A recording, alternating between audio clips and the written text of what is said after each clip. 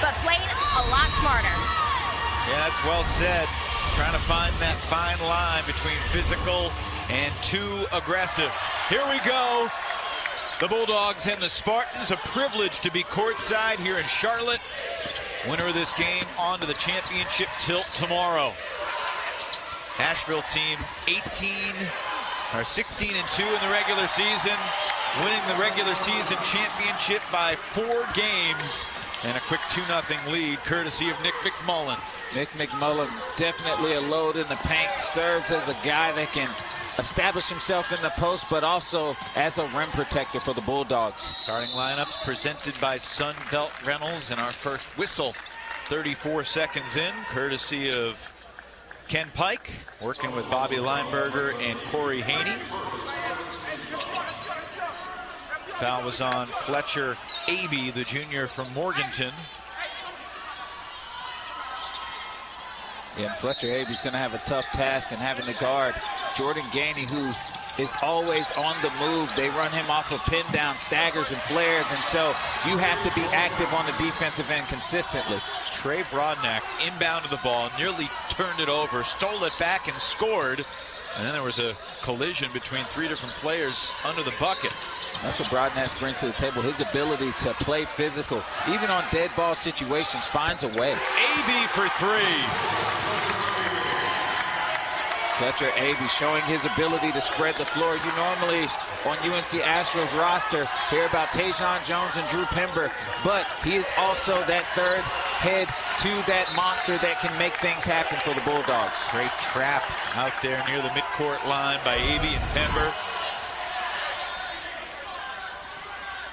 See right here, Drew Pember inside out. Draw the defense in. Fletcher Abee gets a wide open three. Maybe only had four points. He was one for seven in the game yesterday. After he went seven for eight in the regular season finale, they beat Longwood by 10. This is an Asheville team that has won seven straight. They've won 16 of their last 17. Of course, the only loss in that stretch, John, was to you-know-who. Oh, yeah. Upstate definitely has the personnel to make life difficult for UNC Asheville if they are clicking on all cylinders. Upstate knocked off Asheville exactly one month ago they won 76 to 70. It was exactly two weeks after Asheville had won by six in the mountains. First shot for Gainey. Trying to go high off the glass again from that angle. Yeah, I mean, the guy knows the glass. McMullen, the catch, the rejection, great block from Njai. And Njai serves, and you can tell Upstate went bigger with their roster. They're accustomed to going small depending on who they're playing against, but there did a really good job of walling up against the post play of UNC Asheville. Tajon Jones called for the foul after he missed his first shot. Be the first on Tajon as you see Mike Morrell, the fifth-year coach who has built this program from virtually scratch. Some very lean years in years one and two for Mike Morrell, but they let him continue to work and grind, and now this team has become a juggernaut in this league. Yeah, one of the originals on that team is Tajon Jones. That's right. One of those guys that was not didn't have high expectations coming into UNC Asheville, but stayed in it, stayed true, trusted the vision that Mike Morrell set for him, and has had a fantastic season. Friendly roll there for Trey Broadnax, who's got all four early for Upstate. And a foul against the Spartans inside. Dave Dickerson joined the Big South the exact same year Mike Morrell did. Yeah, His 50 year coaching the Spartans. Yeah, after a long, illustrious career as an assistant. Excuse me, John. yeah, Coach Dickerson is definitely a player's coach. You see how those guys rally around him. Definitely one of those guys that has done the time, done the work, put in a ton of sweat equity, and those guys will run through a brick wall for him.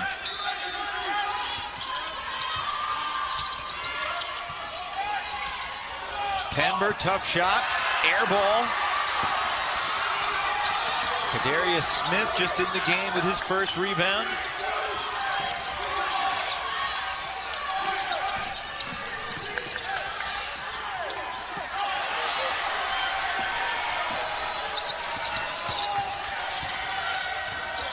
Five four Asheville.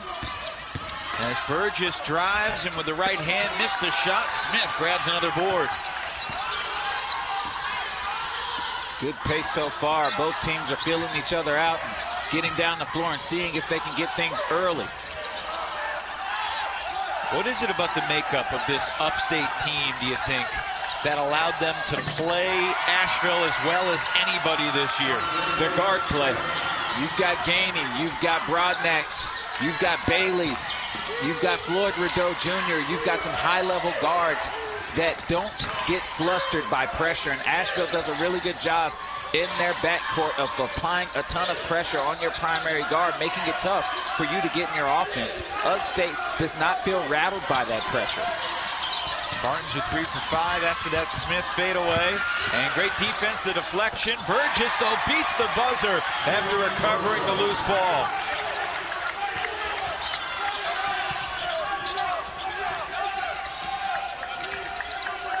Jordan Gainey, sophomore from Tucson, Arizona. 15 points a game. Smith finds his spot. Way off. Yeah, Smith was not in the rhythm. I've seen him knock down some shots in the past, but it's usually off of good rhythm and ball movement. Averaging about 13 points per game in his last five, up to scoring average to eight points for the season. Coming on strong down the stretch. Jones and Pember have been an incredible one-two punch. Long two, won't go. McMullen gets his hands on the board, surrounded by Spartans. He scores. Wow. Nick McMullen using those shoulders, clearing out the space he needed. That's a tough basket.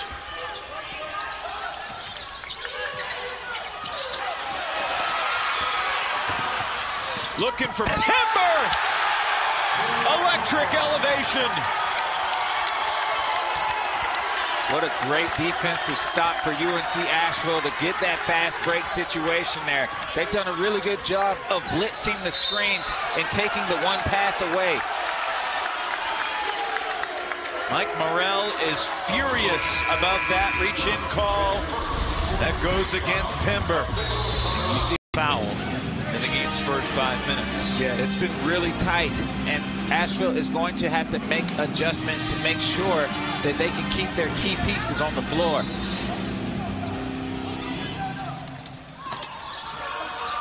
Trey Broadnax, 12 points in the win over Gardner-Webb yesterday, a game that, goodness, the Spartans snatched from the jaws of defeat, down five points with 10 seconds left.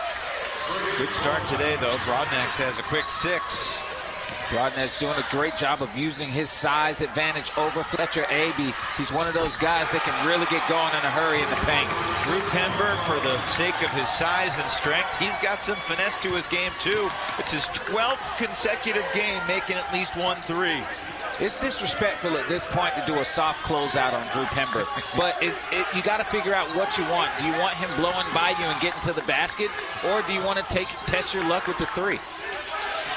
After going just 3 of 11 from the field yesterday, 2 for 4 to start today. Rebound for Abee. Here comes Alex Caldwell. Story of yesterday's win over Charleston Southern was the free throw line. Bulldogs were 31 of 41 as a team. Pember individually made 22 free throws, setting a Big South tournament record. Going in the air without knowing where he was going. Doc Battle turns it over. Yeah, Doc Battle probably should have just stayed down on two feet there. Create a higher percentage for him to make a good pass. Way off on that three from Mr. Goodlow, who was huge down the stretch yesterday for Upstate. You see Drew Pember just recognizing that there was a weak closeout on him. He'll make you pay. Langley has to get out there, but he was so worried about his straight line drive because the thing is if Drew Pember gives a little baby pump fake and you edge up towards him, he's attacking that high foot. So if you're a guy like Pember and you average 31, uh, 33 minutes a game during the season, you played a game yesterday, your season's on the line, do you go into today's game thinking you're going to play more minutes than usual?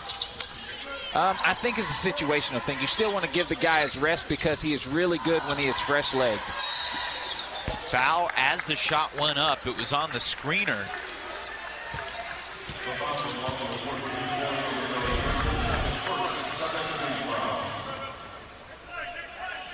You see it, Floyd Rideau Jr. continuing to push upon McMullen there. Dave Dickerson amused, but not really. Caldwell showing his quickness to McMullen.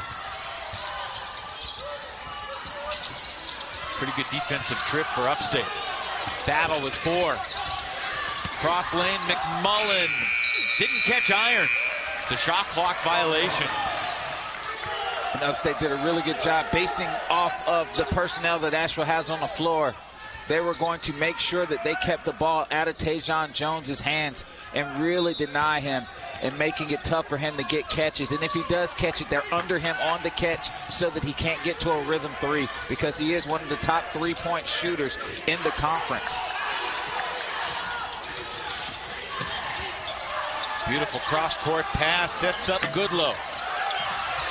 Rebound tracked in the corner by Nick Alves. It's been a couple of good plays to Mr. Goodlow, who's just missed the shot, but definitely capable of making that. Rideau, too strong as well. A little nervy, these jump shots here. Yeah, because these guys can really shoot the ball. Floyd Rideau Jr., Mr. Goodlow, Justin Bailey, Jordan Gainey, guys that can really shoot the ball. Just off on that jumper. Keyshawn Jones really gets some elevation when he shoots, doesn't he? He definitely does, and he's understood that he has had to do that, warding off bigger defenders that are trying to put a hand in his face. Jones listed at 6'5", but with the hair, he's like seven six, feet. He's about six seven out here. They got to date that. The SID's got to date that. I looked at him the other day. He's about six six now. Goodlow with the shot. And will be our second semifinal coming up 30 minutes after this one concludes on ESPN Plus. Championship game, 1 o'clock tomorrow on the Deuce.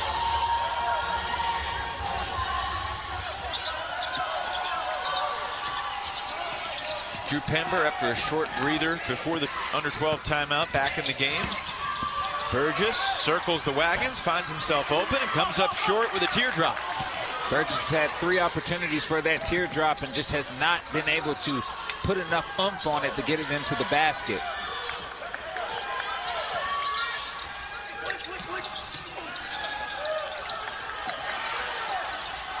Upstate 5 for 12 from the floor. Asheville 6 of 14. Again, the clock winding down. Gainey, nope. Pember the rebound. Gainey still has not scored. He's 0 for 2. Ooh, defender went down trying to draw number two on Pember. Officials didn't bite, and McMullen tied up inside. The arrow gives it back to Upstate. Yeah, that's a, a tough play there. There was a lot of physicality that happened prior to that, and you see McMullen just battling, trying to maintain the ball. That's a foul. Yeah, Bailey's over there going after it. Yeah, I agree with you. Justin Bailey had a good hold of the wrist as he pursued the ball. Yeah. Burgess could have been caught for a foul bumping in the backcourt there against Goodlow. Well, I, I think you respond to what the refs are giving you. And so that's the situation where you're like, if we're going to play like that, we can play like that. This is schoolyard ball right now. I love it. Three is down for Justin Bailey. It was only a matter of time before the Spartans started to get some of that rust off, some of that those nerves off of their shoulders and knock down a, a rhythm three. They've had a few opportunities thus far and just have not put the ball in the basket. One of Bailey's best games of the year was a month ago against Asheville in their six-point win down in Spartanburg. Alves called for the foul there. See there, bad closeout there. Bailey understanding that Burgess was low on that closeout and was able to get to his pocket and knock down that shot. Bailey, one of two upstate starters on the Big South Hall freshman team. Into Pember, who fakes it, takes it. Rebounded by Alves. And Nick Alves does a really good job of just setting good screens, rebounding the ball, keeping the ball alive for his team. Swiss Army knife. Gainey for the lead. Got it. talked, it was only a matter of time, right, for the Spartans to get themselves into an offensive rhythm. Right now, they are clicking. Their offense is running very fluid in this first half. 8 nothing run that Burgess tried to squelch, but he's rejected at the rim. What a beautiful closeout from Bailey on Tajon Jones. Deep three wouldn't go for Pember. Has not scored in five minutes, John.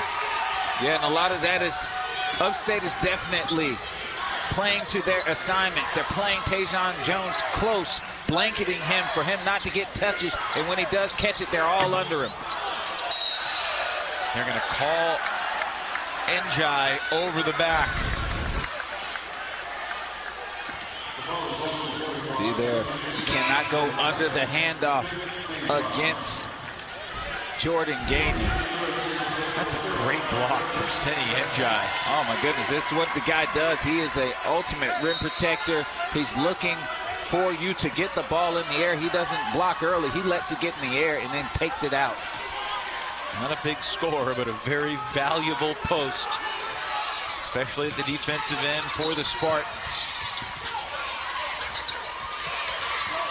Pember battling for position, and he was fouled. Yeah, Alves tugged him down, and the senior from Melbourne, Melbourne, Florida, picks up his second. He's got to bring him down because if they can hit Pember for that duck in, he is dunking it. And then that serves as a momentum starter for UNC Asheville. Drew Pember broke the Asheville single season scoring record this year, surpassing Andrew Rowsey. Tajon Jones, meanwhile, the all-time leading scorer in the history of the program, but unsuccessful that time at the rim. Scoring drought continues for the Bulldogs.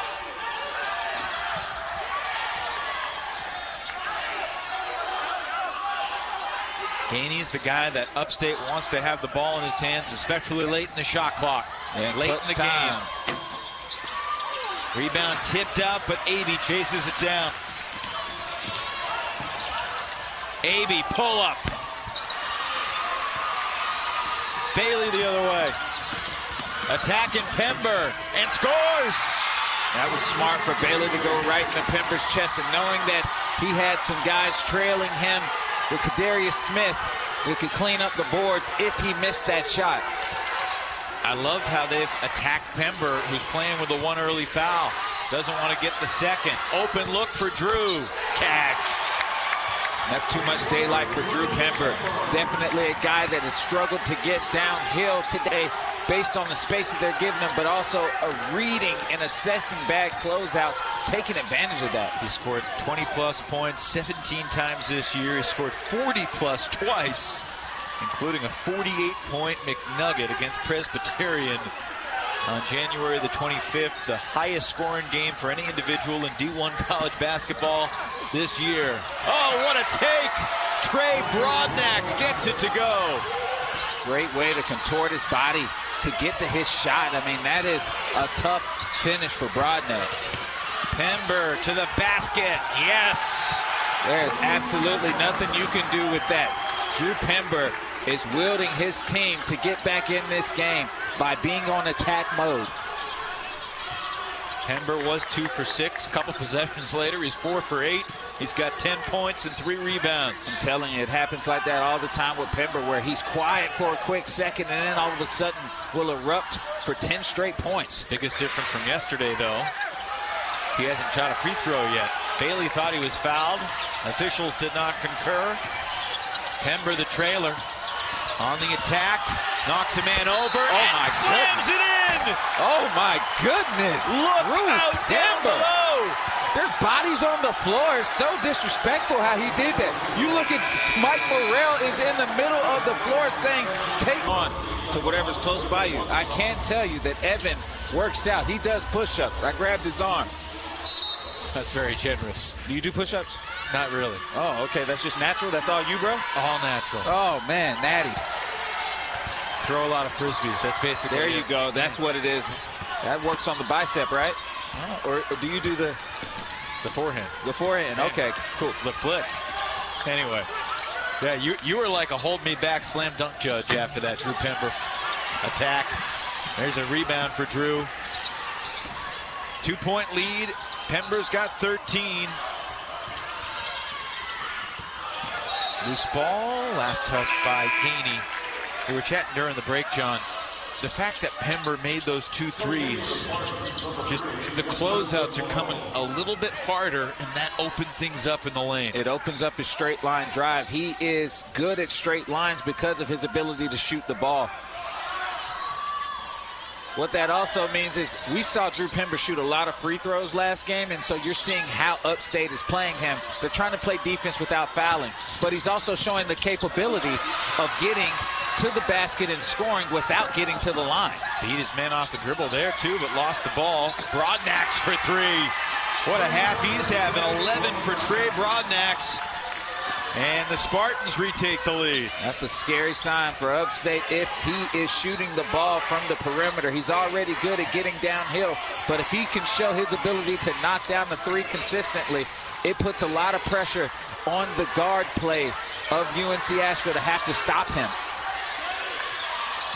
Pember attacking on the dribble, and the foul will be called on Goodlow. Actually gave it to Smith, not Goodlow. Smith's first. See Broadnax getting into a rhythm three off the open floor situation there. He is not necessarily a three-point shooter. He is a playmaker, but if he can show his ability to shoot the three on top of what he does when he gets downhill, he's going to be a scary player. So Pember's racking up the points. Meanwhile, correct myself, Smith just picked up his second foul. So that's four different Spartans that have two fouls apiece. Smith, Alves, Rideau, and Njai. And you saw, you said Smith and Njai, who are players that can defend the paint, defend the post. And the reason why they're in foul trouble right now is because of that guy at that free throw line putting a ton of pressure on the paint. 15 first half points for Pember. And it feels like he's barely broken a sweat. Yeah, the thing is, is that Upstate understands that Drew Pember is going to do Drew Pember things. What they have to make sure that, that they continue to do is contain the other players that can serve as offensive weapons for UNC Asheville. Broadnax five for five from the floor. Trying to back down Burgess. Tough shot, won't go. Rebounded and stuck back up and in. Langley the finish after the hustle play from Goodlow. Mr. Goodlow is that guy, that Swiss Army knife, kind of like the facilitator, but does all the little things to get the team involved. Right there, you see him making that hustle play. Burgess comes up well short. Gainey. Tipped out by Langley. And loose ball, Spartans have it. Making all the hustle plays. Langley at the rim. Battle shaken up for Asheville. That's why we've got the whistle. Might have been because the ball was thrown back off him. Yeah. Saw Broadnax go and apologize. What Yeah. a wild sequence. Yeah, he got hit. He got hit pretty good in the midriff. Ooh. Ooh. Poor fella.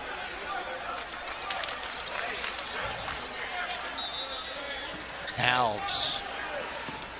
Uh, battle. Needs a minute. Maybe two. Give it to him. Okay, he'll be on the bench. Recuperating. Burgess, Jones, McMullen, Abee, and Pember. McMullen rejected, but follow is good for Jones. What a block by the Spartan defense, but Jones was right there. That's what UNC Astros going to have to do. They're going to have to crash the boards right now. You are seeing Upstate do a great job of stopping UNC Asheville on their first initial shots. It was good no foul defense from Pember.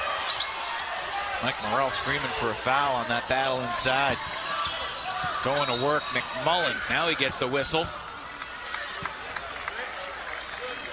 This is the pressure that Asheville can put on you. Stressing your defense. They play physically. They force.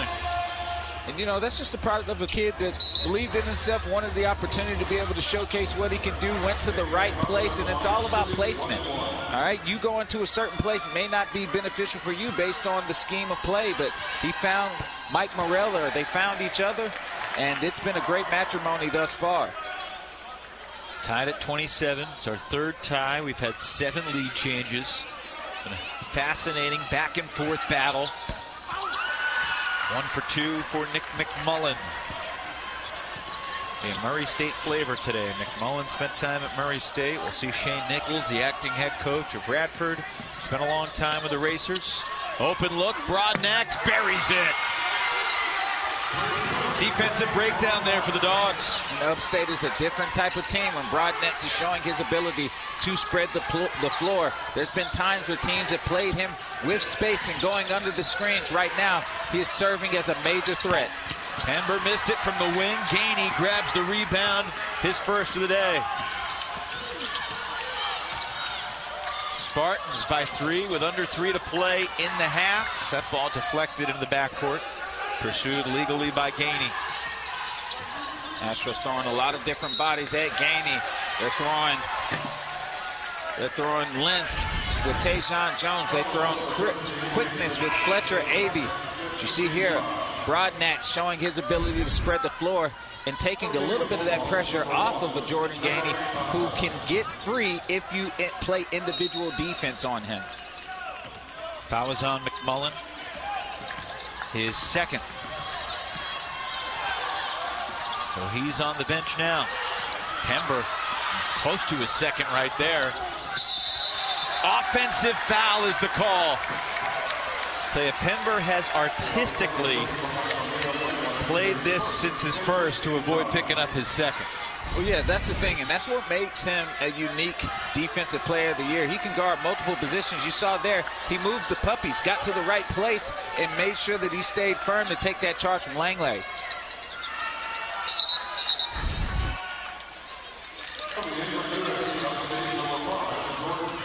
He, he's got the basketball IQ and understanding that this game becomes a totally different thing if he's got two fouls in the first half. Absolutely. Especially with two minutes and 34 seconds left in a back and forth game. He's going to be needed on the floor, especially offensively. Battle all the way. That's what Doc Battle brings to the table. You got a shooter on his right side. He can get downhill with limited help and able to get to his spot and pivot and finish. Doc had a good game yesterday. Nine points in the win over Charleston Southern. And a reaching foul is going on Jones. And that's Tajon's second. Yeah, Tajon Jones has really tried to put a ton of pressure on the guard play of USC Upstate by staying locked and connected to those guards coming off of those zoom actions and chases. 16 foul for Asheville. Two minutes to play in the half. Bulldogs, the top seed, trying to get back to the NCAA tournament. Last went in 2016. Tough fadeaway. Beats the buzzer. Mr. Goodlow, welcome. That's what Mr. Goodlow brings to the table. That, that spark that you're not expecting, but is definitely capable of it. All the way, up and under, no good. Battle could not convert. Broadnax with momentum, circles the wagons, and Gainey had a heel on the sideline. Out of bounds to Asheville.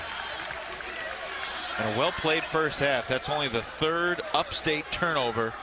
Asheville only has four turnovers in the first half, though, so far. Yeah, both of these teams have done a good job of, you know, protecting the ball and making sure that they're not getting sped up. And that's why you're seeing some high-octane offense on both ends.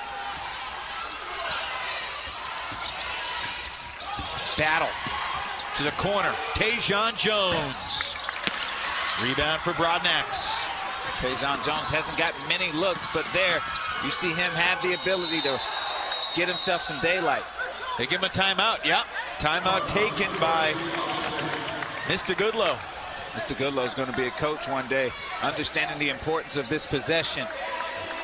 Also, first half highlights and stats on the semifinal Saturday. The men take the stage first, and then we'll see the women later tonight. Tremendous day of basketball here in Charlotte, North Carolina. Final minute of this first half.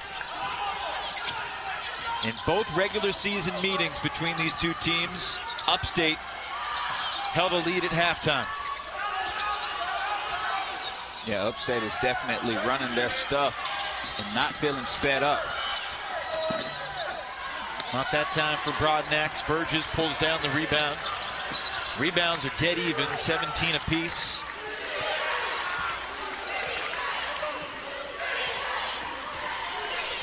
About an eight second differential between the game and shot clock here. It's been an entertaining game so far. Both of these teams have executed well. Battle inside between Pember and Goodloe. And Mysta has been ticketed with the foul. Pember slow to get up. Gotta make sure we get some some towels down there.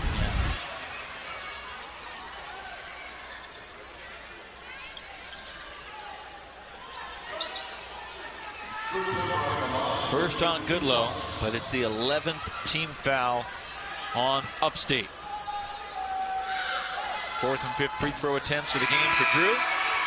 He was 22 for 24 yesterday. Now three for four today. Worth mentioning, 18 of his 24 free throw attempts yesterday came in the second half. Yeah, he's a guy that can definitely come alive in the second half, especially when he's had maybe a bad first half. Well, he has not had a bad first half. yeah, all. so that means that we could be on par for another 40-point game where we've seen him come alive in two halves and just be terrifying for the opposing team. If you're Dave Dickerson, you're content taking the lead to the locker room. You'd love to double the lead right here, though. Final seconds. Goodloe to Langley. Missed it. Pember the rebound, and the buzzer sounds here in Charlotte. The regular season champs knew that they might see Upstate in the semis, and the Spartan team continued. Jones averages about 15 points per game. He only has two at halftime. And the thing about Tajion Jones is he's a guy that is capable of running off points very quickly once he sees the ball going to the basket. The thing is, is that Upstate has taken away the space that he's accustomed to getting to get into his rhythm. Second half begins with an Asheville turnover. Pember not on the same page with Burgess. Asheville did a really good job in the first half of taking care of the ball. Both teams did, and that's why you see the score as close as it is. Think back to early February. Upstate was on a four-game losing streak. They had Asheville coming to town. Asheville hadn't lost to many. Yikes. Unable to finish. Njai with a loud miss. Abee's open, comes up short. Njai there for the board. So they beat Asheville to halt their four-game losing streak. And since that game, they've won seven of eight, only lost at High Point, and they've just played good team basketball, toughness, togetherness. They've made buckets too. There's Surratt with his first deuce of the day. And we heard Dave Dickerson talk about his guys playing connected. That means so much in winning games for USC Upstate. You got to have five guys all on the same page, offensively and defensively. No good for Jones. He's one for six which is exactly what Gainey was in the first half. Gives this one up. Both teams have come out pretty cold to begin the second stanza. And we should mention it is pretty cold in this Coliseum. You can sort of feel the ice from the rink that's underneath the court as Pember will get to the free throw line. We certainly feel it sitting here courtside in our suits. You think the players feel it as well out in the hardwood? I don't know about that. At this point, the adrenaline's going. It doesn't matter where you play, um, but it's how you feel afterwards. I do know that my joints are achy right now, and that is usually when it's cold around. Hmm. My kneecaps, they're tingling. I mean, I know what time it is. You've detonated on, on those knees to slam dunk. They've got a lot of years on them. Many times. They've got a lot of years on them at this how, point. How old were you, John, when you first threw it down in a 10-foot hoop? Seventh grade. I was 13 years old. Wow. Yeah. You remember exactly where that moment occurred? Yeah, it was my dad telling me that I couldn't dunk. Stop telling people you can dunk, and then I did it. Well, what did Dad say? Just acted like you're supposed to do that. That's fantastic. Pember makes two at the line. Now, Drew has an advantage in terms of dunking the ball that you don't have. He's six foot eleven. Yeah, yeah, I got it. It takes me a little bit more time to get up there. But anyone who remembers watching you make highlights for Eddie Biedenbach's Asheville teams, it was a sight to behold. Corner three won't go. Rebounded by Jones. Burgess with a skip to his step. Pember filling the lane. Rebound pulled down by Smith. And Surratt did a really good job of altering that shot and making Pember have to go to the other side of the rim to finish.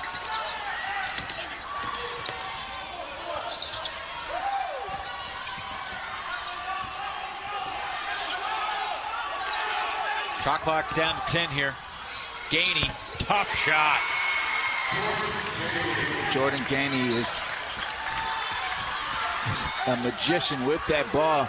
When he gets downhill and recognizes the defender is a little bit late, he can pull up on the drop of a hat, knock down that pull up at a high percentage. 19 of his 25 yesterday came after halftime. Just three points in the first half today.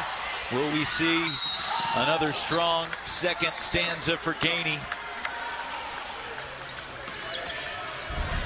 Free throws coming here for Asheville.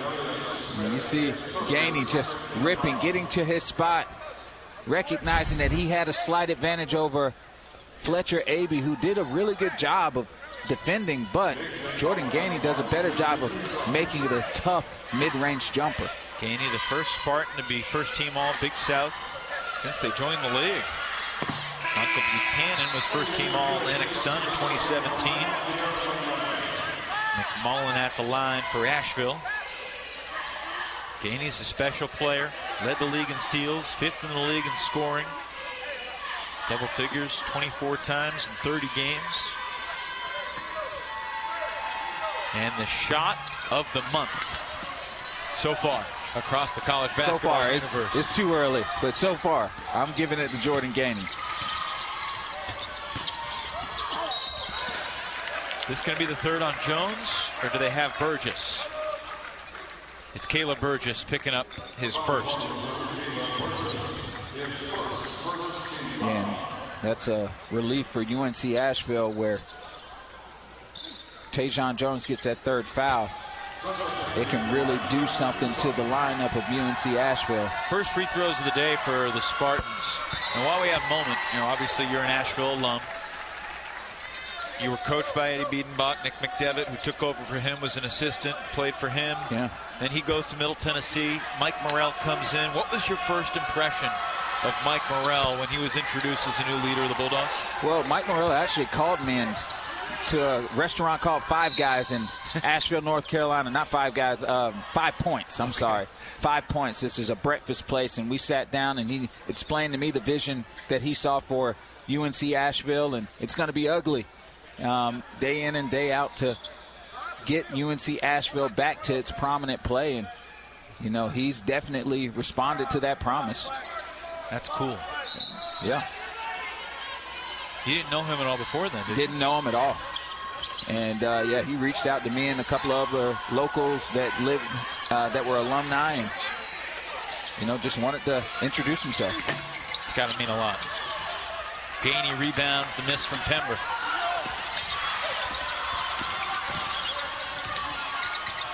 Bulldogs 25 and 7. But the season on the line today. Pember the block. Loose ball taken by McMullen. Here comes Burgess, the conference's leader in assists. McMullen behind the back, and Pember with a flush. McMullen with the pretty pass to Drew Pember for that slam. Upstate has really tried to make sure that they blanket Pember and make it tough for him to get catches there. Already with 20.7 rebounds on his way to a double-double. Kick to the corner. Three in the air. Won't go for Surratt, but a heck of a rebounding play made by Langley. And Langley working extremely hard to give another opportunity for Upstate to put the ball in the basket. Double team on Gainey, so it's over to Bailey. Shot clock at six. Bailey to the bucket for two. What a tough finish from Justin Bailey. Just a tough, strong, great size guard there, but Tajion Jones answers for three. Better shot from Tajion Jones, just finding some open daylight in the open floor, and a lot of that is because UNC Asheville got down the floor as quickly as possible. Tajion Jones now one for four from beyond the arc. He's hoping to get to 2,000 points this month. Gainey too strong. Pember rips away his eighth rebound. Jones hits the trailer Pember to the basket. A lot of contact. Is it a block or a travel? It's a foul on upstate Surratt.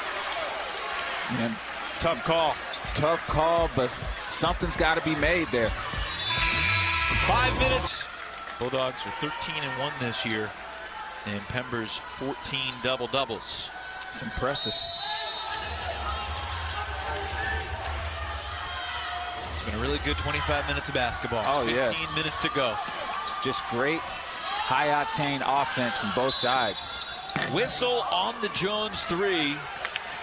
And Pember landed on his tush inside. And the foul is on Gainey. So it's going to be Bulldogs ball underneath. It's the first on Gainey. Watch inside. Yeah, and Gainey in a situation where he was about to be a mouse in the house, and he said, not I. You're not allowed to do that in basketball. And it'd be holding if it was in football. Pember. And Drew Pember, you can see the upstate fans are wanted a, a steps called there. Still upset, throwing some boos at the refs. Oh, good defense in the corner. Battle got a piece of the shot.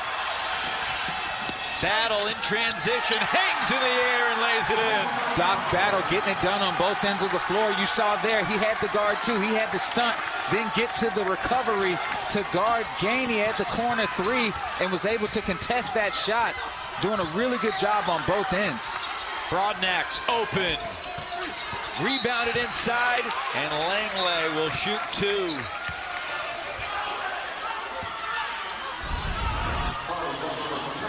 Fouls on Caldwell.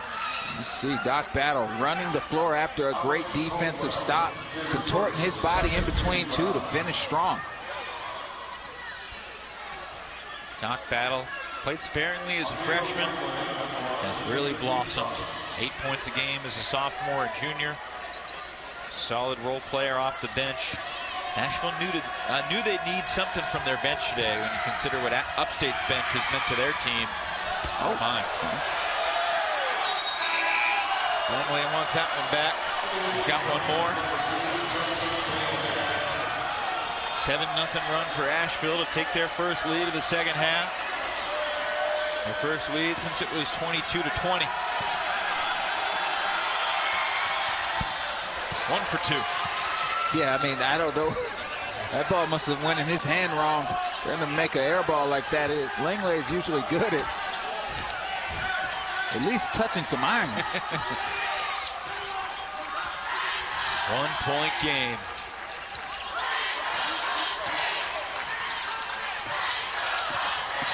Burgess rejected by Alves, and it was off Burgess out of bounds. What a defensive play by Nick Alves. Nick Alves definitely that guy that can guard multiple positions. He can guard guards. He'll guard the post. Puts a lot of pressure on both ends of the floor. Type of guy you need in a game like this. A little bit loose on the dribble, but Goodloe maintains possession. Cross court for Alves. Langley double teamed. Cross lane pass, and wow, it's going to be Asheville ball. Physical defense. They're letting them play. Yeah, a lot of contact there.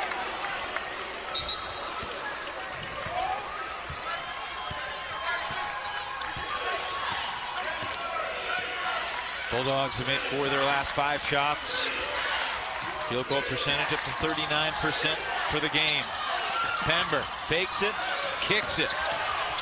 Burgess circles the wagons, hits the diving Pember, and he travels. And this is where Caleb Burgess not willing to shoot the three can serve as a hindrance. Everybody was guarded except for him. In those situations, he's wide open. He's got to at least take the shot to show the ability that he is a threat. Five for 18 from three in the regular season. 31 games. He scored double figures in both games in the regular season against Upstate. 14 in the win, 10 in the loss. Shot the ball well, too, 11 of 13. Broadnax having his way. Yeah, Broadnax understanding, recognizing that the defender did not, was anticipating the ball screen, was able to reject and get to a good shot. Officials continue to let the teams play through some substantial contact. Coach Dickerson wants everybody to calm down. Langley. Surprised they're doubling down on him? No, the guy is really a matchup nightmare. Corner three. Good! Justin Bailey. And that double team creates a lot of pressure where you got a wide open Justin Bailey, whose weak side man had the sink and seal. He's wide open in the corner for that three. Langley does not have an official assist, but he's shown he can pass out of the double team. Pember. Bulldogs back within one. And that's what Drew, Pember does. He answers all the questions that you may have out here. Responding the right way to 25 points. Three for six from deep. Eight for 15 from the floor. Broadnax sets up Alves. Battle for the rebound. You see the hustle. It'll be Asheville ball. Two teams committed to leaving everything out on the floor. Dreaming of dancing. Katarina Biancardi was in the huddle. What you got, Kat? Inside coach Mike Morrell's huddle, he said, guys, we got to do a better job of finishing plays. We can't stop because USC Upstate is a team that's not afraid to get on the floor and really fight for the ball. So we have to do a better job of just making sure that we're completing our plays on both ends of the floor. Mike Morrell was exceptionally frustrated about something there. Almost like he was gesticulating toward the Asheville band for playing when they were coming up the court, but I'm not sure if that's what he was angry about. I'm pretty sure that's not what it is. It had to be something regarding on the floor activity. Something he just talked about. Maybe they didn't oblige. Beautiful pass. McMullen detonates at the rim. McMullen exploding for a big time finish that the Asheville Bulldogs definitely needed to get themselves on some type of momentum, some type of run. McMullen at six yesterday. He's got eight today. On the drive, just like that. Nick Alves puts Upstate back in front. Yeah, Nick Alves, great job of Euroing by Drew Pember and finishing with the inside hand. Nice move for a guy who hadn't scored yet in the game. First two for Alves. Goodloe trying to defend Pember. Langley doubles. Out to Jones. Rebound McMullen. Caldwell takes it. Two dodge bullets there. And here comes Upstate led by Goodloe. Two high percentage shots for UNC Asheville from two of their better shooters on this team. Into the fourth quarter of this semifinal, and Upstate gets two more from Alves. Alves just picking up and taking what's given to him. He's been given the wide open shot. He's had to take it. Pember missed the potential equalizer, but another offensive rebound for Nick McMullen. McMullen's really fighting hard on those boards. Carry violation called on Caldwell.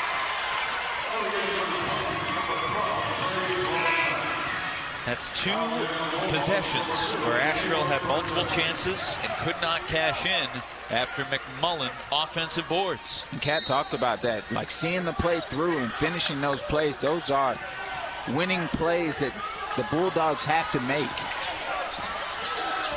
Wonder if Mike Morrell's having any similar thoughts to what Griff Aldrich was experiencing over on that bench yesterday.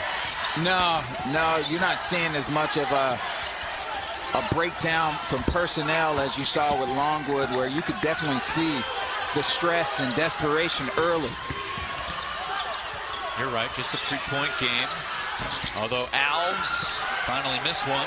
Pember one rebound shy of a double-double now. He's got 25 and 9. Burgess to the corner for Abee. Another miss, another offensive board. Can Asheville finally cash in a second chance bucket? Reaching foul going on Langley. That's the second on Amir Langley. The sixth team foul on Upstate. Burgess trying to play through it.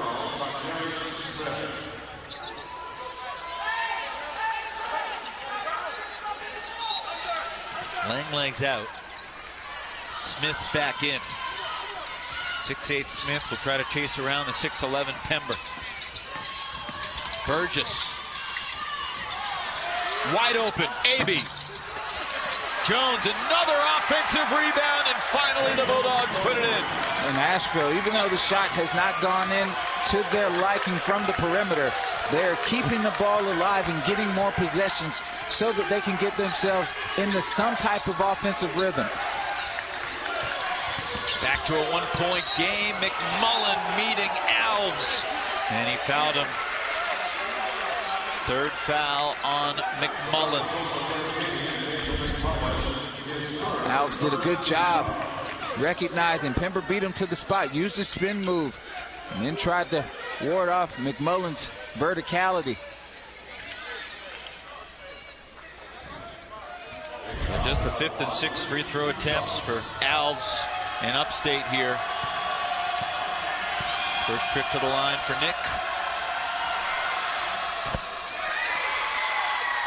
As a team this year, Upstate was not one of the better free throw shooting squads in the league. 65.6% for the season. The Big South semis for the second year in a row. They're trying to get to the Big South final for the first time. They haven't played in a conference championship game but one time. 2015 ASUN final. Lost a close game against the Osprey of North Florida. But they have a Big South championship game within reach. Up three.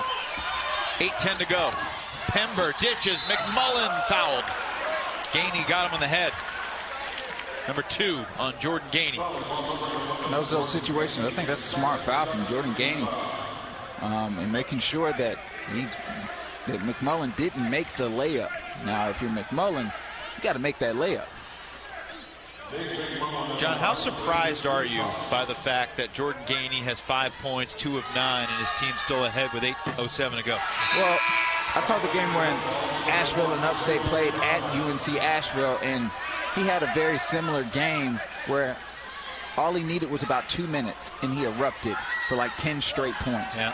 And so you can never close the door on a Jordan Gainey.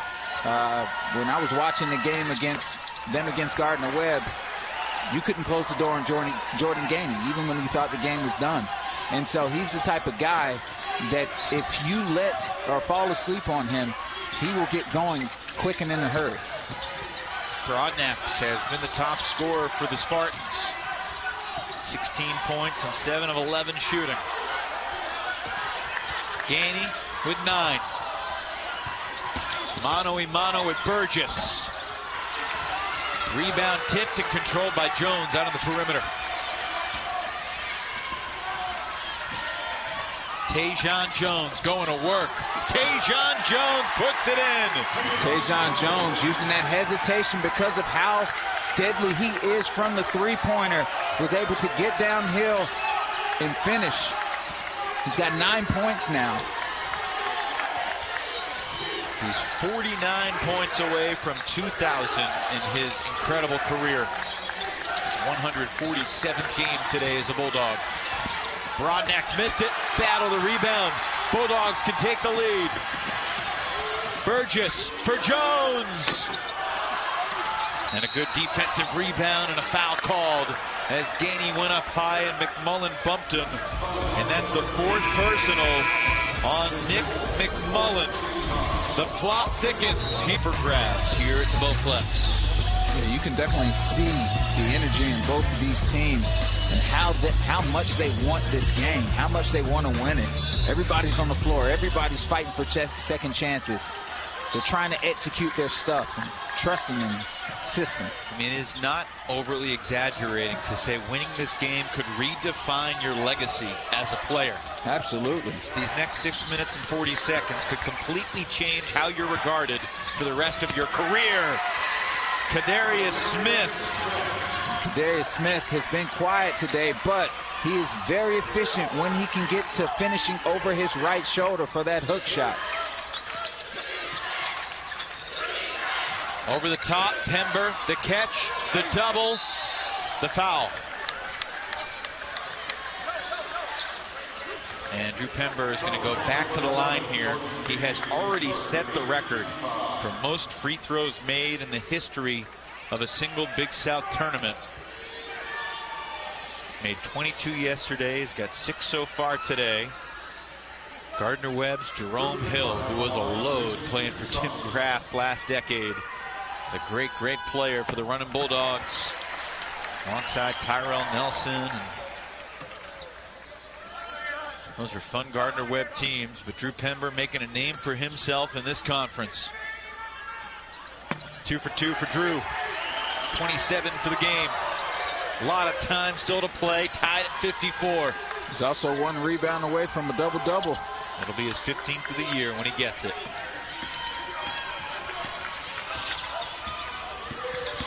Broadnax can't finish. Rebounded by Battle. Bulldogs trying to push with numbers. And the trailing defender, Broadnax, nearly snuck in and stole that pass. He's, he's wily.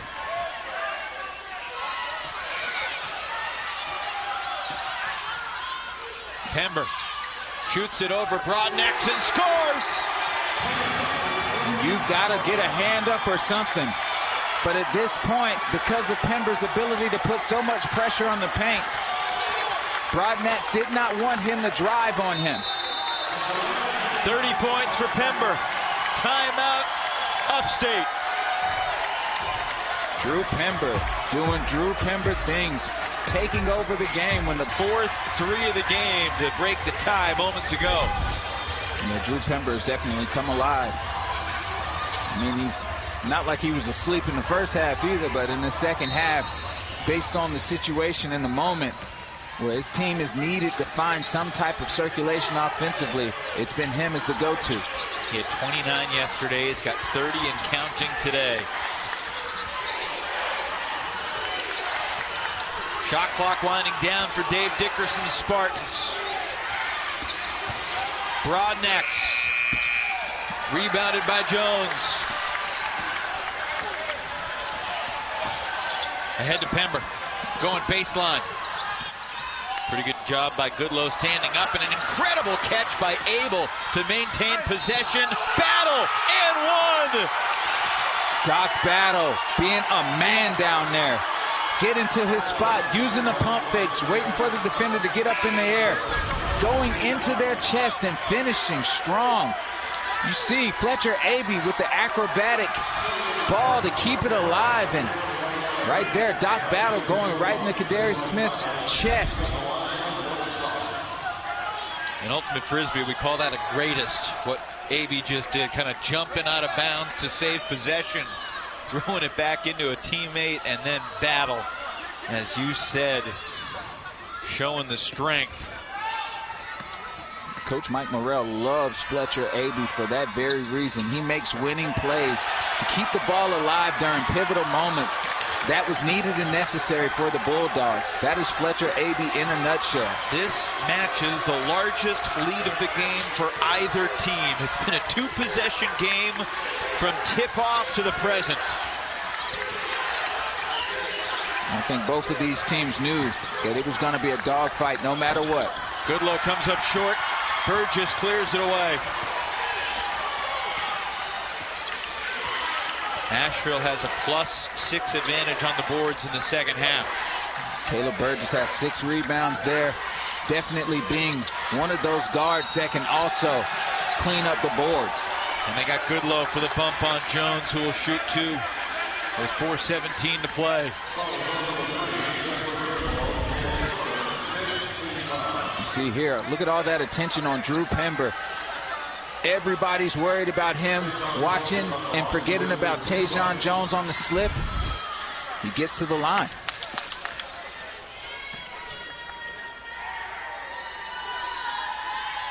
Jones in the double figures. At the start of today in college basketball, John, there were 24 players, active players, with at least 2,000 career points. Tajion Jones is now 48 points away from joining that company. If he can get there between today, tomorrow, and what's beyond. Yeah, it's all about advancing for him to reach another individual accolade. But in order for that to happen, UNC Asheville is going to have to collectively come out of here with a win. Four minutes to go. Back door. Block. And shoot two after we get a timeout. That's the second on Pember. Our strength. All right. Two free throws here for Mysta Goodloe, the senior out of R.J. Reynolds High School in Winston-Salem. It's a good school. Had some real good players out of there. One comes to mind, I think, Reyshawn Terry. It, yeah. Right around the corner from the Lepler residence, if you're wondering. Yeah.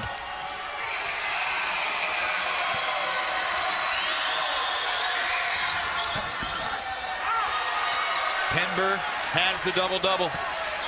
30 and 10. His 15th dub-dub of the year. And a couple costly missed free throws from Mysta. And we marquee, you know, this second half with Pember and Broadnax going at it a little bit. And Broadnax is really falling off a little bit in this second half, only scoring two points in the second half. Shot clock winding down from 38 feet. Would have been good from 34. Yeah, 34 online. Double comes on Langley again. To Broadnax. Asheville doing a nice job defensively, although Bailey's open, and that's a huge bucket. Justin Bailey when the Spartans needed him. Yeah, running off of a set of staggers, just making sure that he was available. Abee tried his best, scrambled with, with like his life depended on it, but Bailey was just way too open.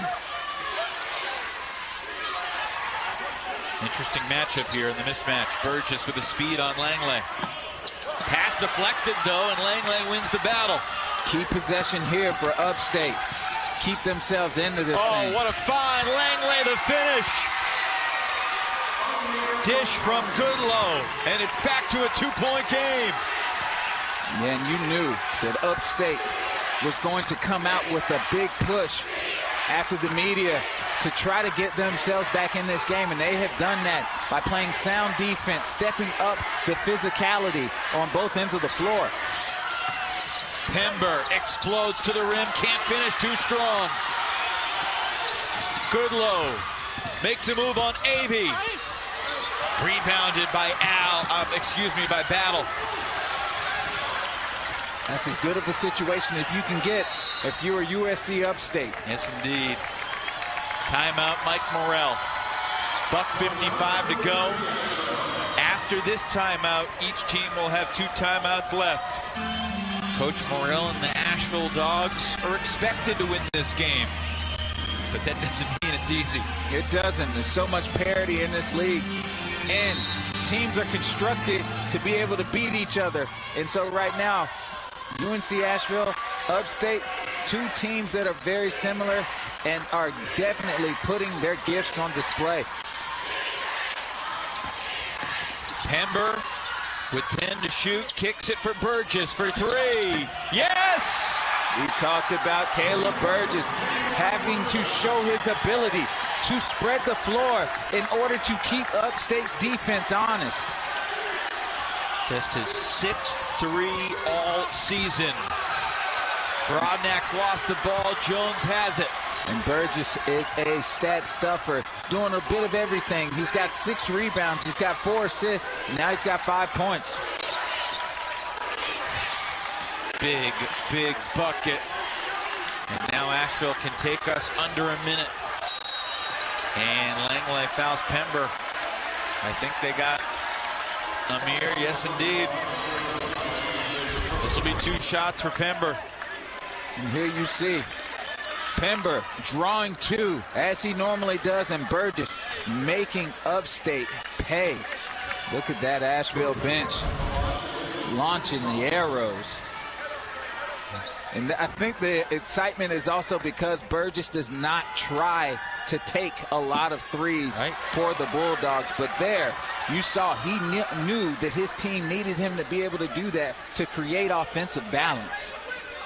The senior out of Moravian Prep, transfer from Hofstra. 110 games, that's his 30th three. It doesn't happen all that often. Now look, Upstate was down five with 10 seconds to go and found a way to win. So they got tons of time. They, they do not mind this situation. One thing is you can't let that man get free. You know who?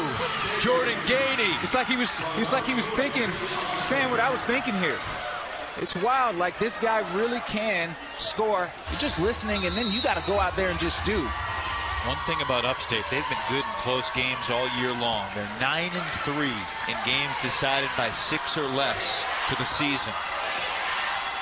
You can definitely tell they practice situational circumstances in practice all the time to make sure that they're ready for moments like these. Caleb Burgess yo-yos the dribble. Makes a move all the way. Burgess missed it. And Jones goes over the back and fouls Mr. Goodloe. Now Asheville had a foul to give. That's the sixth team foul. It's the third on Jones. And Upstate will have the basketball. And a chance to tie the game with 28.5 seconds left. Like I said, too much time, man. A lot of time right now for USC Upstate to get dangerous. And everybody knows that they are capable of being dangerous out there. Here comes Trae Broadnax. And Dave Dickerson's going to take his final timeout with 20.5 remaining. And at this point, you want to make sure you drop just play solid defense. All righty. Broadnax will inbound.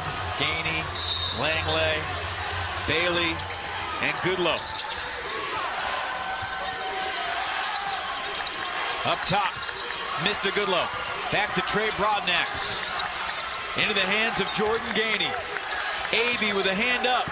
Gainey, tough shot, no good. Kick back out, but Abee the steal. Seven seconds to go, and Upstate fouls. Free throws for Asheville coming up. You can tell Jordan Gainey was really upset there. Wanted some contact. Dave Dickerson's upset as well, saying that, hey, there's something. That's got to be something. And so, yeah, there's, a, there's elbow contact and everything. You see Dave Dickerson letting the refs know, like, hey. Abee at the line. No good. Upstate's out of timeouts. Even on a make here, there's time if they can get a bucket in the next three, four seconds.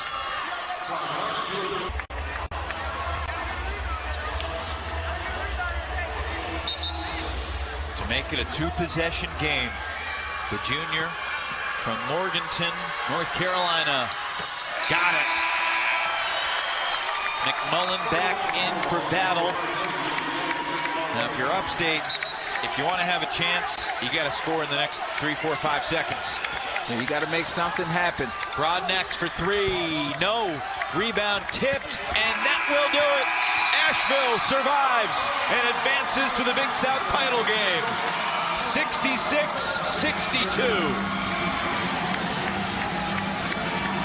Big